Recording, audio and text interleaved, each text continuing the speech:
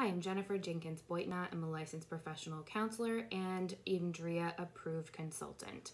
And I'm coming to you today on my channel Consult Seaglass um, at my practice, Seaglass LLC, to give you a quick overview of what it takes to become an EMDRIA certified therapist. So, first, you have to complete an EMDRIA approved EMDR basic training. And so, once you are trained in EMDR, um, you can begin counting your hours toward certification. Uh, you have to be licensed in your state and in your field, and you also have to have at least two years of experience in your field.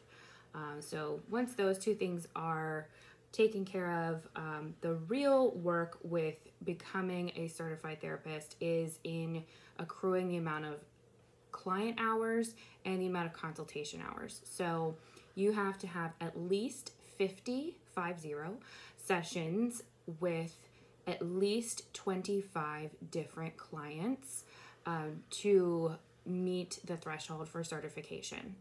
And doesn't take too long to get up to 50 sessions, but it does take a while, especially depending on how heavy your caseload is or how many clients you're doing EMDR with, um, to get up to that 25 different clients.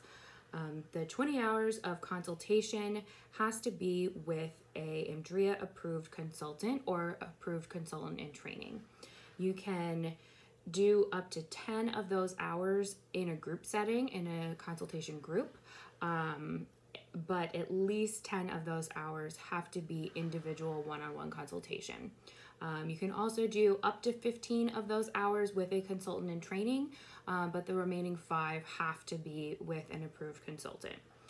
And then once you have all of those taken care of, the rest is um, continuing education. You have to have 12 hours of EMDRIA uh, continuing education units, and then um, filling out paperwork, letters of recommendation, and reviewing policies, paying the fee, compiling your application packet, um, and sending all of that off to EMDRIA um, to be processed. Once um, they grant your status as a certified therapist, then that is good for two years. Um, you just renew it every two years with additional continuing education credits. Um, so if you are pursuing your certification and you are looking for consultation or a consultant, um, I am offering two different types of consultation groups, and I also offer individual consultation.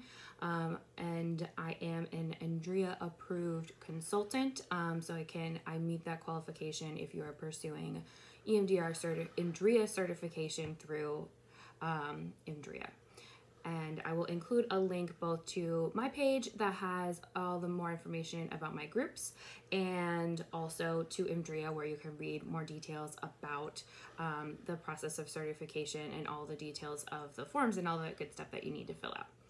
So, wishing you the best on your journey to becoming a certified therapist, and I hope to hear from you and would love to work with you on your journey as your consultant.